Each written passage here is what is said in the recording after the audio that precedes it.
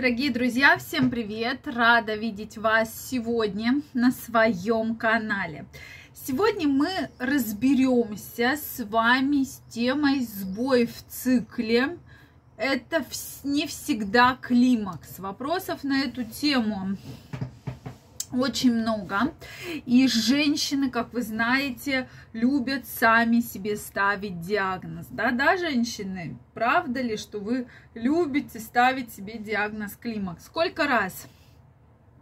ко мне приходили пациентки и говорили, Ольга Викторовна, у меня климакс. Я говорю, с чего вы это взяли? Ну, у меня же нет месячных, значит климакс, да?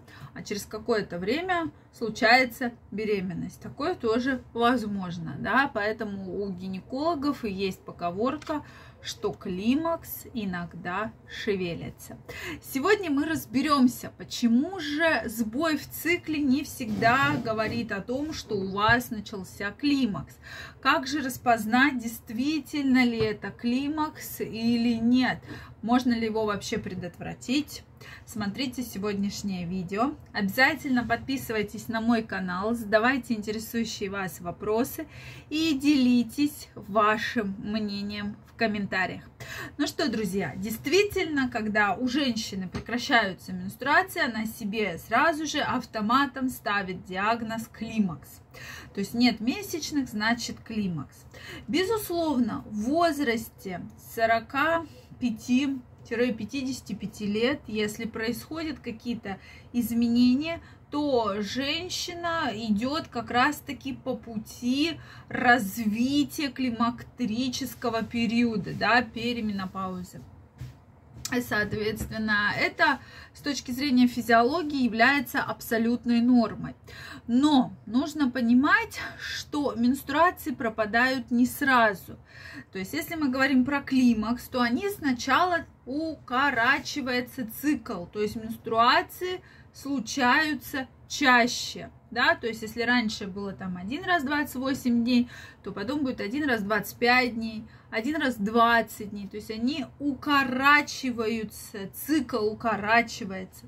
А далее цикл начинает удлиняться, и вот сначала там раз в 20 дней была менструация, потом раз в 30, в 40, в 50 дней, а потом она и пропадает.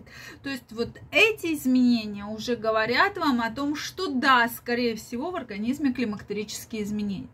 Но учитывая современный образ жизни у многих женщин, сбой в цикле может связан быть с гормональными нарушениями.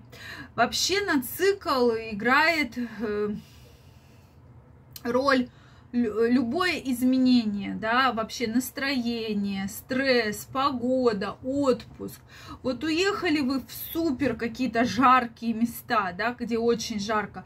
Будет ли у вас э, изменение цикла? Может быть. Плюс, допустим, вы еще испытали какой-то стресс, что вас там не сразу в самолет посадили, что там вы долго где-то ждали. Для организма это серьезный стресс, поэтому гормональные изменения являются проблемой нарушения менструального цикла. То есть он может вообще пропасть, да, может быть задержка менструального цикла. Затем, э, или наоборот, он быть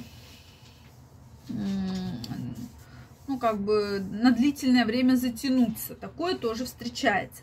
Также различные органические изменения. То есть, допустим, полипы, могут вызывать сбой в цикле, различные функциональные кисты яичников, в том числе гормонально обусловленные, да, могут вызывать изменения в цикле.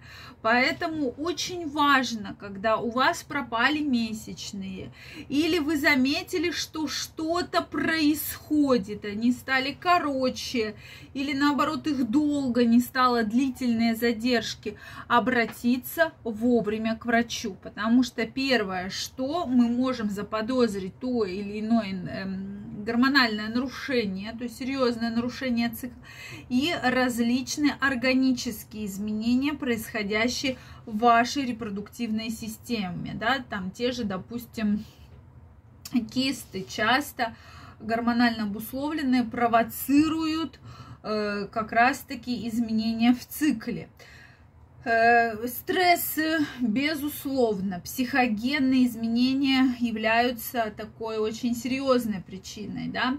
Анорексия, когда вы начинаете, наоборот, худеть очень резко, да, и часто, вот вы знаете, девушки, которые постоянно-постоянно худеют, имеют дефицит массы тела, страдают изменениями менструального цикла. Потом приходится работать эндокринологу, гинекологу, психологу, чтобы восстановить вот этот нормальный цикл питания, восстановить более-менее нормальную массу тела девушки. Поэтому очень важно следить за этими состояниями. Да-да, друзья, я крайне рекомендую это делать. Если вы резко похудели, а сейчас женщины после 40 лет начинают резко худеть, может ли у вас пропасть цикл? Может, безусловно, пропасть. Испытали серьезный стресс? Может пропасть цикл? Безусловно, может пропасть. Что делать? Первое, обратиться к гинекологу, сделать УЗИ органов малого таза. Это обязательно. Второе, сдать гормоны крови.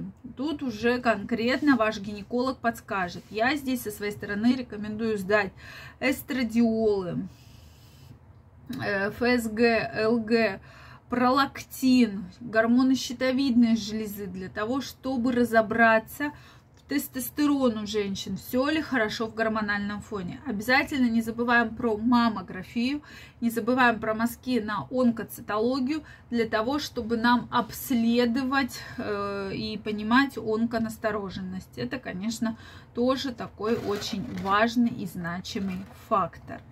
Поэтому, дорогие женщины, не нужно самостоятельно ставить себе диагнозы, нужно вовремя обратиться с гормональными нарушениями к гинекологу. До 10 дней задержки является нормой, все, что больше, уже требует обследования.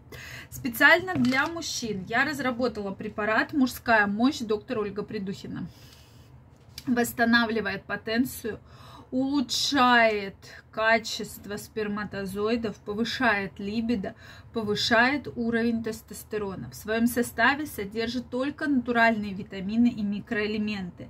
Цинк, селен, витамин С, витамин D3, натуральный экстракт женьшеня и ее химбина, которые являются природными афродизиаками и оказывают воздействие с первых дней приема. Принимать по одной капсуле два раза в день банки хватает на курс на месяц. При регулярном регулярном длительном приеме мы видим самые хорошие результаты.